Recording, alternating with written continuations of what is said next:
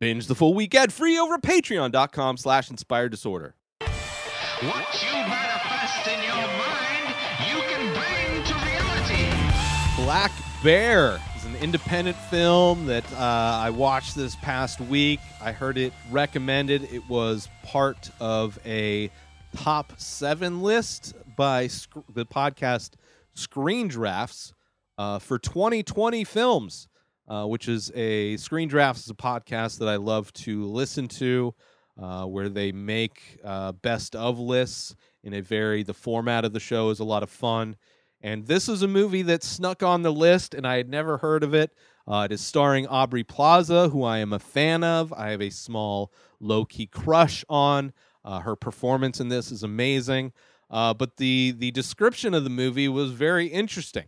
Uh, so I decided to check it out. It's not available streaming anywhere, so I ended up just blind blind buying it, which I've been purchasing a lot of movies recently on iTunes. A lot of movies that uh, are recommended to me, movies that I enjoy that aren't really available anywhere.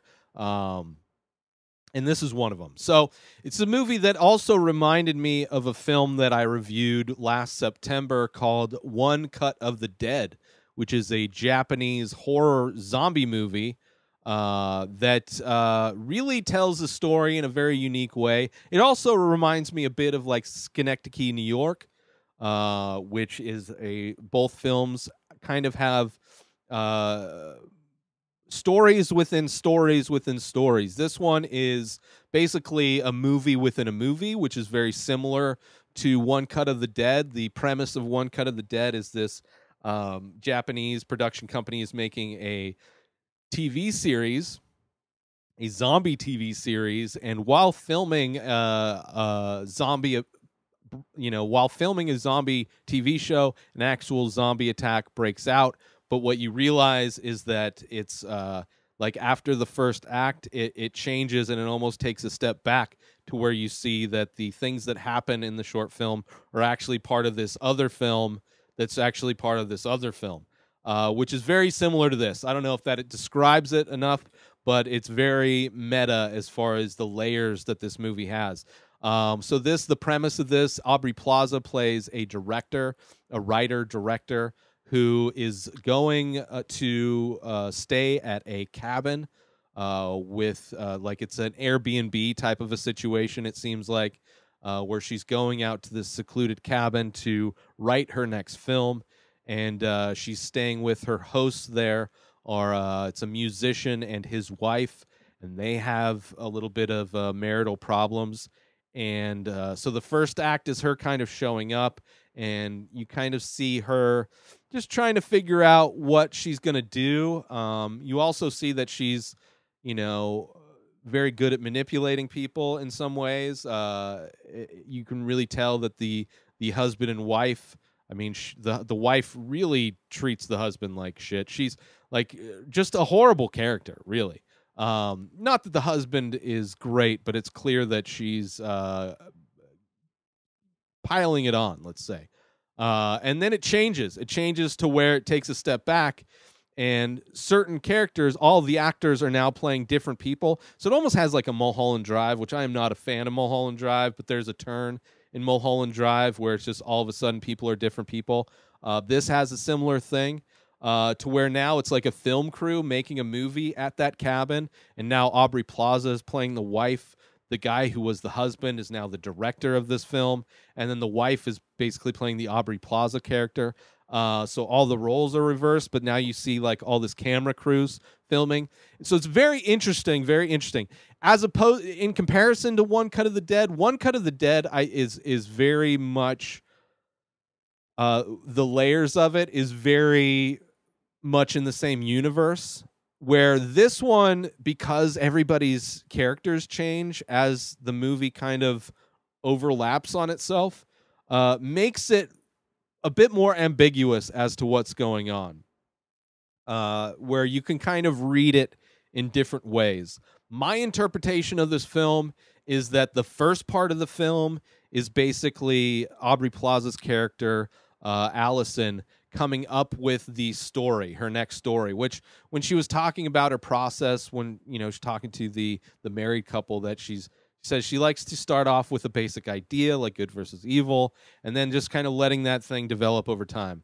Uh, so it's almost like she she came up with this this idea and it was like her first draft. And then when the movie changes and you see all the characters shift it feels almost like this is the second draft of that idea. And then the movie itself that you're watching the actual movie black bear is the third iteration of that to where the movie itself is the the final draft of the film that is showing the previous drafts within it. That is kind of my interpretation of the film uh, the ending of the film.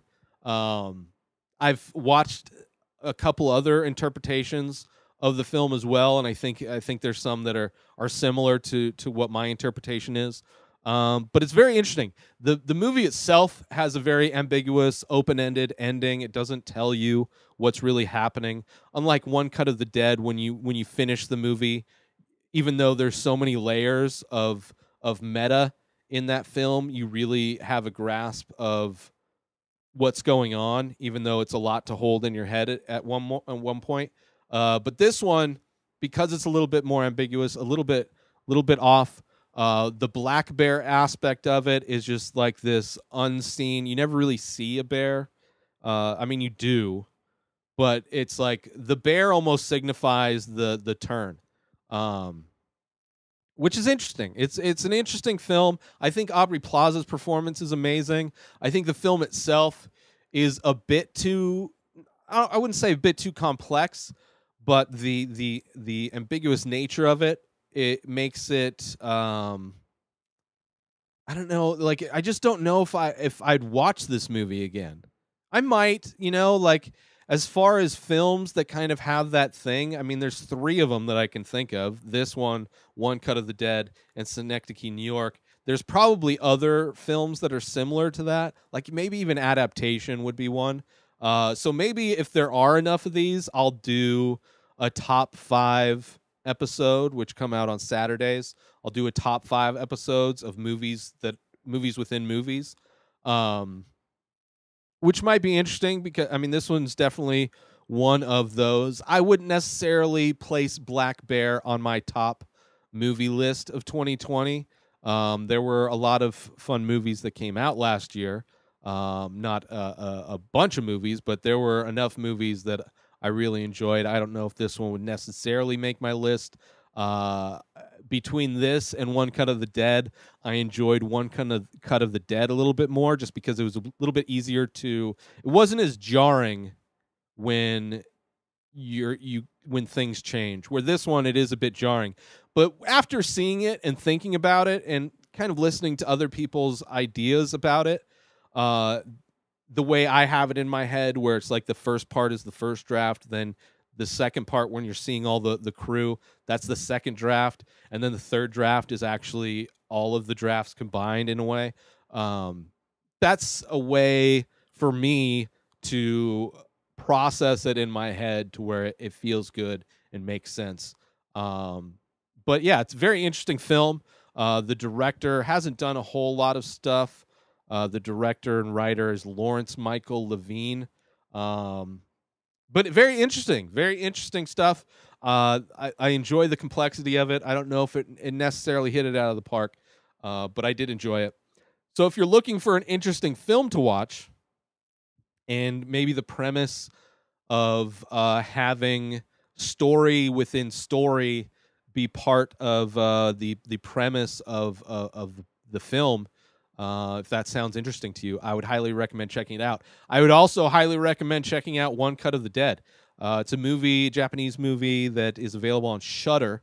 I don't know if it's available anywhere else, but uh, if you enjoy Black Bear, then I would highly recommend checking out One Cut of the Dead as well, uh, because I think it does a very similar thing, but in a better way. Same thing with Synecdoche, New York. I would say is very similar, is more similar to Black Bear because Synecdoche, New York there's a, there's I haven't watched it. I think I've only watched it once, but there's so many layers of of of meta, like these different like layers of what's going on and repetition of what's going on in Synecdoche, New York. It's also hard. It's almost more difficult to to hold in your brain uh, the entire thing. But uh, very good, very interesting. Uh, and uh, super excited to see what else Aubrey Plaza comes out with because I think the range in emotion that she has and her performance uh, is great. I think it's top to bottom uh, the best part of this movie. Uh, but the premise is very interesting as well. So check it out if you want. It's available on video on demand. It's called Black Bear. Get yourself some amazing coffee from an independent brewer out in Thetford Center, Vermont. That's right. StationHouseCoffee.com is where you go. Follow Station House Coffee on Instagram to get your small batch, single origin, premium coffee. Order it online and get it shipped directly to you. Let them know the Ray Taylor Show sent you. Go over to stationhousecoffee.com today and order yourself some coffee and follow Station House Coffee on Instagram. New episodes of The Ray Taylor Show come out every single day. Subscribe on IGTV, YouTube, and everywhere else podcasts are found. Binge the full week ad free over at patreon.com slash inspired disorder. Buy Ray Taylor Show merch over at inspireddisorder.com. Follow the show on Instagram at Ray Taylor Show. Have a wonderful day, everybody. Peace out!